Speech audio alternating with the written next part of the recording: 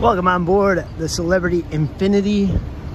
We're gonna spend the next week sailing the Eastern Mediterranean. We're currently in Italy, in Ravenna. And this video uh, will show you off a little bit of the ship, but there's a full ship tour on our YouTube channel. We're gonna show you all the different ports and what it's like to sail in the Eastern Mediterranean. But first, let's talk about Ravenna, where we started. Technically says Venice, but we're nowhere near Venice as you can tell. So let's back up a few hours, and explain how we started on this cruise. Ravenna is located on the east coast of Italy, about an hour, hour and a half south of Venice. Now, it's a small little town that really doesn't have a lot from a tourism perspective. Cruise lines only started coming here recently uh, once they got kicked out of Venice. So there's no chain restaurants here, no chain hotels yet. I'm sure that's all coming with the cruise ships. So it's kind of a quiet town, not a lot to do. We spent a, a day and a half there, and that was probably more than enough. The main attraction in town, from a tourism standpoint, is visiting these old churches with some incredible mosaic artwork. There's about four or five churches. You can pay to go in one individually or get a, a, a pass to go see each of them they're not very big. They won't take you that long. So again, this is a great activity. We did it before we boarded because obviously you can't board the ship until early afternoon. So it's something to do if you're looking to kill a few hours in Ravenna before you board the ship. Some of the cruise lines, as they're ramping up uh, their operations in Ravenna, have transfers from the air, the larger airports. We flew into Bologna and took a train about an hour ish from Bologna over to Ravenna. And then after spending our time in Ravenna, the, that morning of the cruise, we booked a cab to go to the port. Now it's worth noting uh, of course, it's not as convenient as you'd hope. The train station is nowhere near the port. The port is actually a working industrial port uh, that's not really made for cruise ships yet, so you can't even walk to it. Um, if you do take the train to Ravenna, you're going to want to transfer via cab to the port itself. Um, our cruise line did offer transfers, uh, a bus transfer, but it's quite expensive um, and did book up really fast. It's probably cheaper to just get a cab to head over to the port. It's about a 15 minute uh, car ride from the train station to the port itself. And we're at the terminal, getting ready to board, or lack thereof. Uh, you know, with this kind of being a newer thing for uh, the ships uh, not coming to uh, Venice and now having to dock in Ravenna, there's not a cruise terminal yet, but it's under construction. I guess Royal Caribbean slash Celebrity are doubling down and building a giant new cruise terminal here. It's set up as their like Eastern Mediterranean base. But uh, let's let's head to the tent and check in. The makeshift tent terminal definitely gets both going out of Port Canaveral where it's a giant terminal. And here we go, boarding the ship.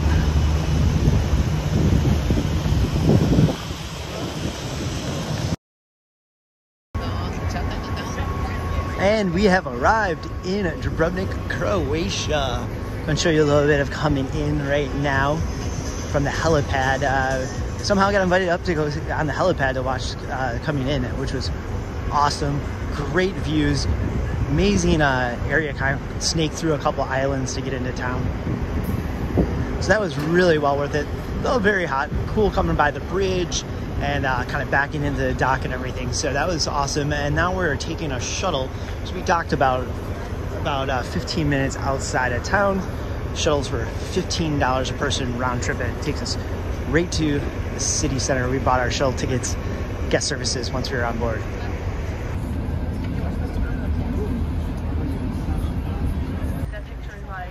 Walking in, this is really awesome looking. Look at like the detail up there.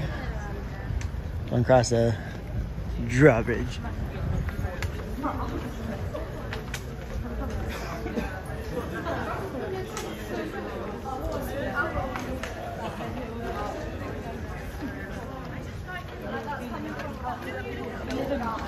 All to go through this tiny little porthole here.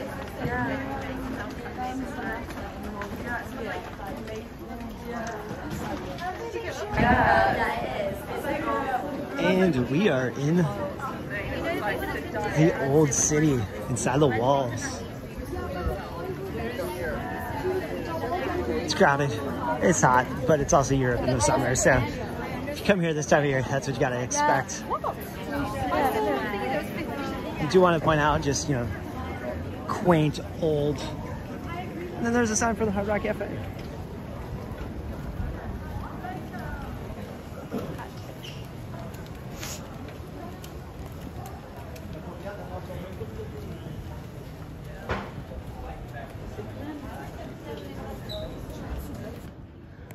Lots of stairs.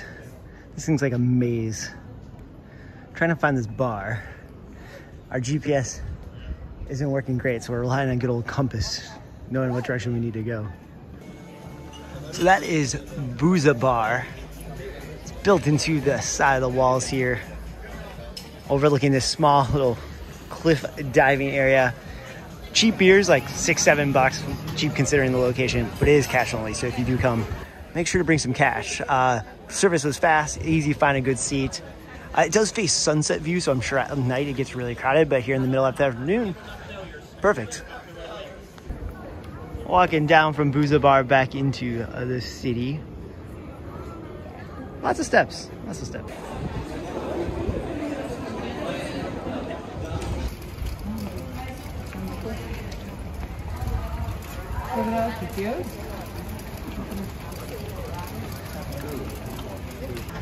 Really important to note after the Buza Bar. I'd be failing you if I didn't tell you this. There's no bathrooms there, so after you have a few uh, cold ones, you're probably going to need to go to the bathroom. There are some public toilets right over here, kind of by uh, a little bit of a walk from Buza Bar itself, kind of by the marina.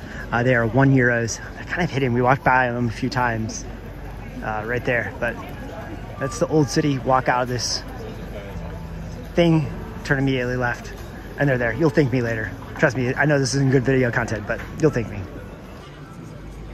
Views in this town are amazing. Uh, this is by the marina here. Shows you just how big the old city is and how just incredible the views are and how they just go on and on and on. The entire city, everything that you've been seeing is inside these walls. So it's like you're driving around here and you're like, oh, that's just a wall, maybe a fort. No, there's the full old city on the other side of those walls, which makes it a little confusing to get around because, uh, you know, you can't just be like, I want to go to the restaurant right there. You have to go all the way down and around and through. So it takes a little extra time to get around here because there's only a few entrances into the old city. Pretty sure Dubrovnik translates to the city of steps because everywhere you go, up, down, up, down, steps. Just outside the old city, there is a cable car that takes you really high up on top of the mountain for an amazing view. And there's a restaurant, so let's check that out. Went to the top of the cable car and uh, just showing off real quick the view from up here of what the rest of Croatia looks like, not just by the water and uh, giant mountains. Really cool. At the top of the cable car, we are dining at the, was it Panorama? Panorama restaurant. Uh, got this really great cocktail using Havana Club, which you can't get in the US, so that's fun. Um, worth noting, there, there's different terraces. Uh, we booked second row, uh, but we were given first row when we showed up, but this place will book up weeks in advance. So uh, look it up online, book it ahead of time, because um, then you can reserve the seats you want, the ones that overlook the view and give you this awesome view of the old city there. Taking in the key attraction here, walking the city walls. It's hot. There's a lot of steps. But it's a great looking town. This path literally goes all the way around. You can see it all the way over there.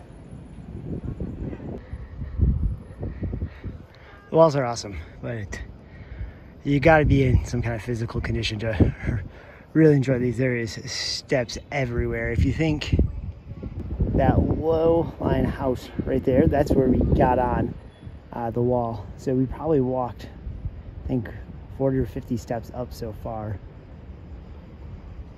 But the view is awesome. So cool to see like a guarded city like this. I would say if there's one small knock on the town, while it looks very, very cool, it is a lot of tourist junk stores. Uh, you know, funny t-shirts, funny hats, stuff like that. Uh, not a lot of like higher end stuff, uh, but I mean, you do have all these like cool views and stuff, so it does make up for it. But I just don't come here expecting like the highest end shopping in the old city. And that wraps up our quick port stop in Dubrovnik. We are going to take the shuttle back to the cruise port and call it a day after a lot, a lot, a lot of stairs.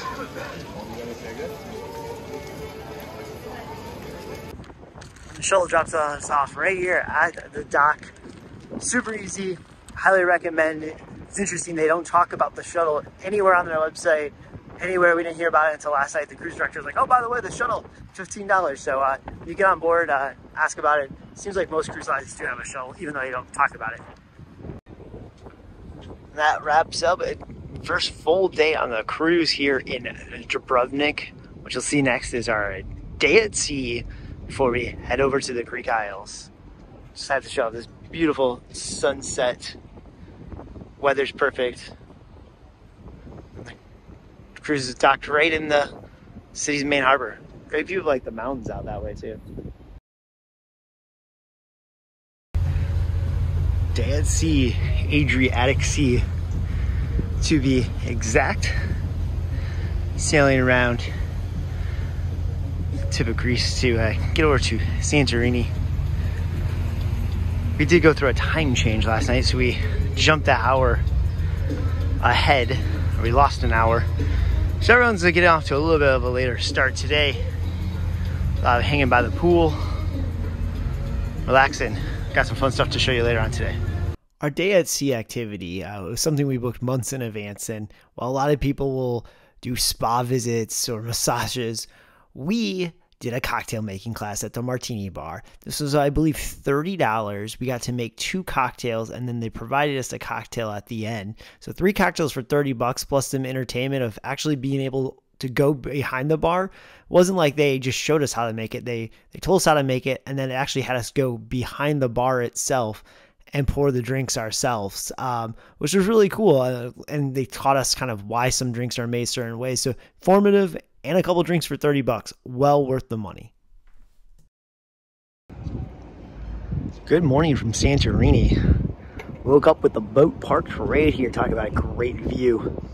Now becomes, now starts the little bit of a tedious process to get all the way up there. So basically, you have to tender over. You can see the tenders coming off that Royal Caribbean ship going over. No, no ship docks right there. So gotta wait for a tender uh, and then once you get there, you can either walk up that giant pathway or take the cable car. And uh, we'll see how long the lines are uh, since there's two ships in port today. Uh, but I'm gonna let you go because we gotta go get a number for the tender. It's kind of like a take a number, they call your number, uh, so everyone doesn't just crowd down in a giant line. As I said, they call out numbers.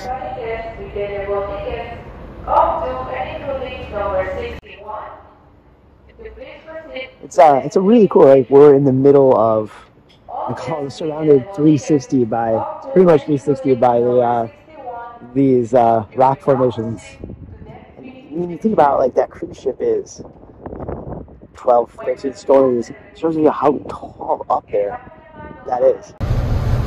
The boat got here at 8:30. That's when the first tender was, and uh, we waited to about 10 o'clock uh, because we have late dinner reservations that was the uh, the prime move. When we got our ticket to come on the tender, we only had to wait about five minutes, and as you can see, this one's not even that busy. It's a whole upper floor too.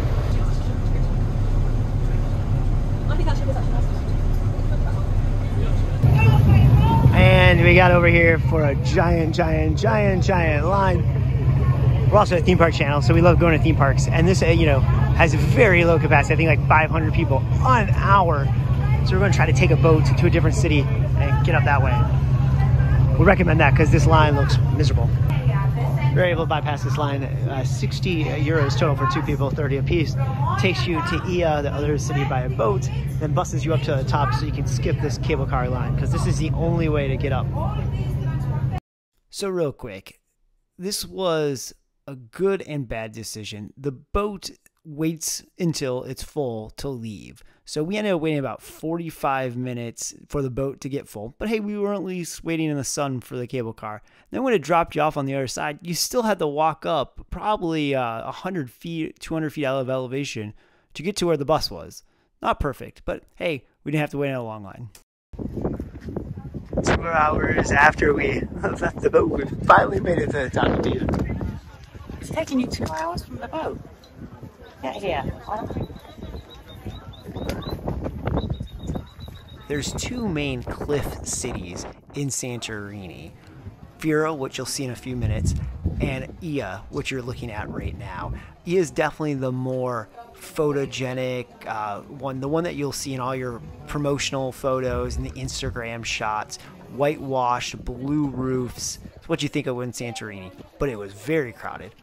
Definitely worth coming over to this one though. This is what you want to see. Lots of great views. Uh, basically, it's great views, shopping, a mix of tourist junk, probably half tourist junk and half artwork that actually does look pretty nice. Uh, and restaurants. So you put, just come along and there's this kind of main promenade. And you can walk, you can actually walk all the way back over to Fira if you wanted to, but the city, there's great views. After about 30 minutes of walking around and a quick lunch, which was actually reasonably priced, we jumped on a bus to Fira, then transferred to another bus to take us to one of the island's wineries. There's a few of them. We went to Venetsanos, uh, where they showed us how the vines actually grow low to the ground. Um, they have to do that because of the wind and the lack of rain. There's some unique things there. They're in the process of harvesting, which was really neat. And then the whole tour ended as you would expect with a wine tasting, with a charcuterie board, and some amazing, amazing views. Best views of a winery probably ever. That's Fira straight out ahead there on that cliff, and then Oia, where we were just at, far in the distance. And we made it up to the top end. Fira, kind of the more less traditional kind of town. You know, Oia is going to be more your white colored domes and kind of what you see in all the picture books. Picture books. I don't even know why I said that. I don't even know that's a thing. Uh, cool. You can see like some other islands out there, but Fira is kind of the, the main central area. This is where you'll ride the cable car up to. So if you are just coming up here for a quick little bit from the cruise, cable car would take you somewhere up into this area. And uh, you'd be exploring this town, but definitely would recommend going over to Oia as well. Because you can see, still looks cool over here, but not that classic vibe that you expect from Santorini. Lots of jewelry stores here. And lots of steps be prepared to look. Our last stop was something we booked months in advance because it does fill up. It was PK's Cocktail Bar for sunset. You see the uh, clouds unfortunately blocked our view, but we booked a front row, literally view, overlooking the cruise ships and where the sun would have set. Today we are in the Greek island of Rhodes. And as you can see, first thing to take note of is after having to take a boat into Dubrovnik, or a bus into Dubrovnik, and a boat in Santorini, two boats in Santorini, and then a bus. This, you can actually walk right off and head into the old city. Kind of see what's interesting about this uh, port is there's this old city here that is completely surrounded by big stone wall. So kind of give you a lay of the land the old city has a lot of kind of tacky tourist uh, shops. Uh, once you get a little further back into it, it does have some uh, a little bit nicer restaurants, some pretty good food options. But immediately when you walk in, and you can kind of see when you get off the boat here, you have to walk quite a bit right around that area. It's kind of blocked right now. Um, there's only so many entrances into the wall. So the old city is definitely worth exploring. Uh, gotta get kind of gotta get around the tourist crap we then did a hop on, hop off bus that took us all around the old city and then up to the top of some of those hills there. Hop on a hop off bus was actually pretty convenient. We had to wait a little bit for it, but it drove us all around uh, outside the kind of the city limits to where there's a, a 2,000 year old Olympic amphitheater where, where there's uh, a Acropolis amphitheater up at the top. We got to see a little part of the island too, where it was. Um, uh, you see a lot of beaches on the other side. Uh, that's what you can kind of see on this side here of the old city. On the other side of that hill, and on this far end of the old city, outside the walls, it's all beach resort. It, it looked like quite the, the resort town, a lot of beach restaurants, a lot of people on the beach. At night, we visited one of the specialty restaurants, Le Petit Chef. By specialty, yes, there is an upcharge for this, but it's this really cool projection mapping show where the entire table is white. What you're seeing here, this little guy, little chef walk around, uh, is being projected down the table, and he would prepare a dish, you know, via the production, and then they would literally come and set the dish he prepared right down on the table. Uh, it was a really cool experience. It took about an hour and a half. There was a little bit of a set menu um, so there's not tons of options. There's a couple options that go along with the projections, but if you wanted to sub something out, obviously the projections wouldn't match. But if you're a picky eater like me, they would match just fine. It was my birthday, so they brought a cupcake, and you can see uh, they projected it right on the plate. Next up was Kusadasi, Turkey, which is actually considered Asia. It's in the part of Turkey that's on the other side of Istanbul. So one stop in Asia for some of us in the group. This was our first time in Asia. Uh, this port, uh, while it's a beach town and there's some activities to do right around the ship, the main attraction here is Ephesus, this ancient town that was occupied by the Romans, by the Greeks at times. If uh, you're religious, you probably heard this town before. It's mentioned in the Bible a number of times. Some of the apostles have gone there uh, pets roam freely, uh, or should I say animals, but uh, it's good to know that the uh, Turkish government, we were told, takes care of all these dogs and cats, vaccinates them, gives them food, keeps them healthy. So that's cool when you're seeing that in the video here. Uh, it was very, very crowded. We got there first thing, but as you can imagine, this being the main attraction when you are in this port, there's two giant cruise ships docked everyone's going there and it got very hot very fast because you can see there's no shade it's basically like marble ground which just radiates the heat but overall incredible ruins you know i've seen rome i've seen other ruins and this was probably my favorite just because of the pure scale and the history of how old some of this is i mean this dates back thousands of years which is absolutely incredible quick wrap up on the day in port. Um, for those who don't want to tour, uh, you know there is some some beach areas here. Seems like a lot of people maybe came back to the boat early because uh, by mid afternoon the pool area was completely full. But I did just want to kind of show you off the port area here. It's actually quite a nice port. Um, so you'd come off and you actually walk along the pathway there. And this over here is uh, a bazaar. Um, uh, a market bazaar, but um, this one's behind the, the, the, security gates of the port, which is that arch over there. So, you know, there's still, uh, they warned us, there's still a risk of fake goods and such being in these shops, but these shops can be a little bit more trusted. I do want to call it, there's some, some restaurant options. You can see quite a bit on the water there. There's even a KFC, so if you're craving some uh, good old fried chicken in the middle of your European trip, uh, you can snag some there.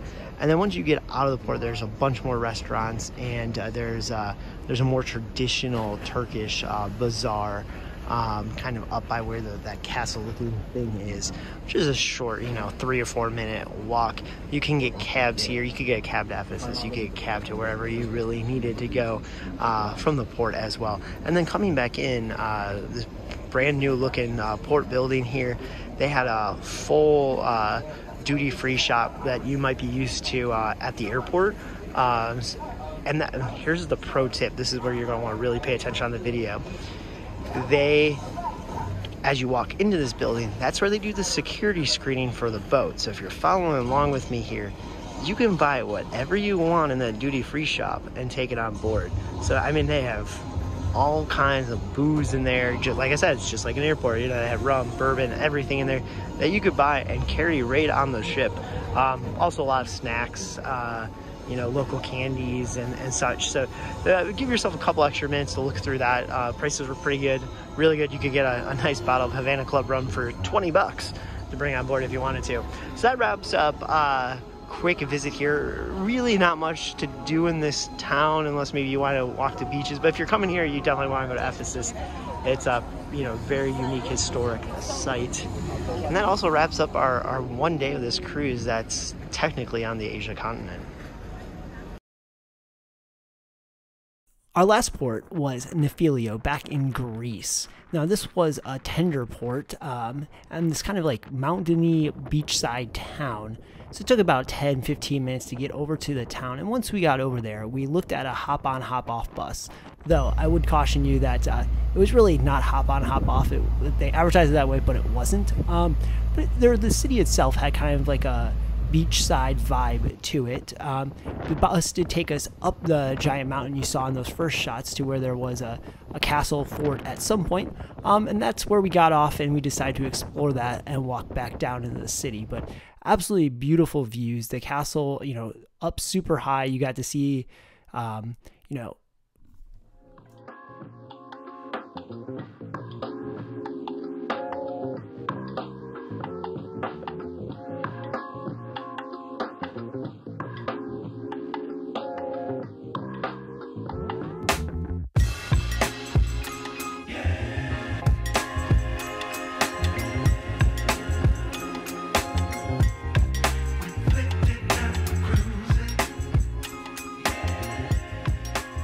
And then we decided to walk down because we wanted to end up on this side of town. Uh, it was about 900 steps, but thankfully there was like a wall next to it most of the time, but still was quite the hike down, but provided some incredible views of the cruise ship and this side of the town. So definitely worth walking down. Don't think I'd walk up, but uh, that's why we took the bus ups. But our main goal was to get down to uh, the walking path. You can see the walking path had incredible views of the ship, the area in general. But unfortunately, despite all the cool Instagram photos and photos we saw in advance of this, it was vandalized quite heavily. You see the graffiti everywhere, which is one thing, but you know, it was just bushes laying on the road, you know, branches, all the lights were knocked out. So it was really disappointing that what could have been one of the most iconic views of the trip was really run down. We ended the day walking around the town itself. And, you know, while it was okay, you know, there's some nice aspects to it. We did visit it in September, kind of after the main summer season, and we noticed a lot of the beachfront restaurants and some of the shops themselves were also closed for the season. So that probably didn't help us uh, appreciate the city more we only ended up spending a few hours in the port, and that was kind of nice. You know, after the long day yesterday in Ephesus, walking around all day, we actually wanted to have some time to come back and read on the ship and just hang out. So, definitely not a long port, um, but beautiful views, 360 almost. That brings us to the end of the cruise, Athens, Greece. Now, a lot of cruise ships, if you're searching for an Eastern Mediterranean cruise, will either start or end here. Some some of them do round trips out of Athens, some are start or end. And it's a it's a pretty nice cruise terminal, uh, pretty big, about 30 minutes from the core Athens city center. No public transportation, from what I could tell, but plenty of cabs as soon as you walked out of the terminal. We pro- we pre-booked ours um, to specifically take us to a few of the key sites before dropping us off at the hotel. And that's how we're going to end the video here is uh, visiting a couple of the key sites in Athens. After our 25, 30 minute cab ride, we have a ride at the Acropolis and uh, are starting the long hike up there. At least it's a little cooler. Uh, we did buy our tickets in advance, so I think we can skip this line up there. So that's it's always the key with these European uh, attractions. You buy your tickets in advance, or you have your tour guide get them for you, so you don't have to stand in long lines. It's also worth noting, very, very, very important. They just recently, as in a few weeks ago, changed the entrance policy for here, and you have to book times in advance. It's a little bit more, a little bit more steps to go through. It helps limit the lines and people going in. So let's keep walking up this hill. It was very, very crowded, and this is at about 9 a.m., and it only got more crowded as the day went on. So get there early or stay late, but this was awesome. Lived up to all the hype that you would imagine and hope for when seeing these famous sites in central Athens. We took about an hour ish there, and that was partially due to how crowded it was. It was hard to get around at some points. Um, you could probably spend a lot more time there if you're a big history buff, but for us, uh, an hour, hour and a half uh, was probably all we really needed to get a good feel of it. Our cab driver then took us over to the Olympic Stadium, site of the first modern day Olympic Games. Now, the stadium site is thousands of years old, but the current iteration that you see here is only a couple hundred. but still very cool to see. We just looked at from the outside versus paying to get in because you can see most of it right there. Then our cab driver said, Hey, I want to take you up to this really cool lookout point, one of the highest points in all of Athens. You can see the Parthenon in the distance, just awesome sight from above. We then went and saw the changing of the guard, which was this really neat little ceremony um, in front of one of the government buildings. It was really great to have a tour. Uh, it wasn't a tour guide, it was a taxi cab driver, but he had some tour guide qualities to him and was like, hey, let's swing over here, let's check this out. And he was telling us a little bit about the history along the way. We were done touring Athens by about noon and spent the rest of the day exploring it on foot. Now, I would say Athens does get a pretty bad rap, or probably some of it deserved for some safety concerns. So be sure to do your research on what areas to stay in, what areas to walk around. We mainly hung out around the Parthenon area, and as you can see here, this area was just really cool looking. One of our favorite cities we visited. Just the culture, the architecture, right, right alongside some ancient sites was awesome to take in.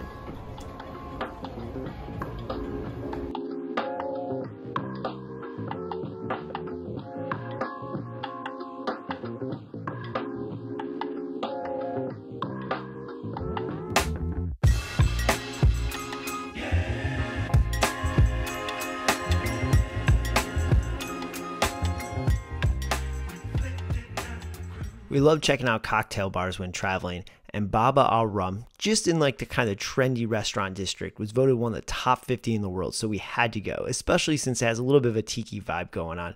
Really cool place. Highly, highly recommend. And that will wrap up our week long cruise across the Eastern Mediterranean. A couple highlights, recap notes here. Dubrovnik in Croatia was the highlight for sure. That's one of the places that are on top of our list to go back to, explore Croatia more. It was just a really great food, atmosphere, culture, the mountains, the water, absolutely incredible. Definitely want to go back there. Greece, I would say, unless you're a huge, huge fan of Greece, um, I don't know how many Greek islands I need to go to. They were really cool looking, but you know, Santorini is uh, on its class of its own. That was awesome. But the other two were meh. And then I would also shout out Ephesus. This is a port you don't hear much about, uh, but the ancient ruins there are really cool. And then of course Athens.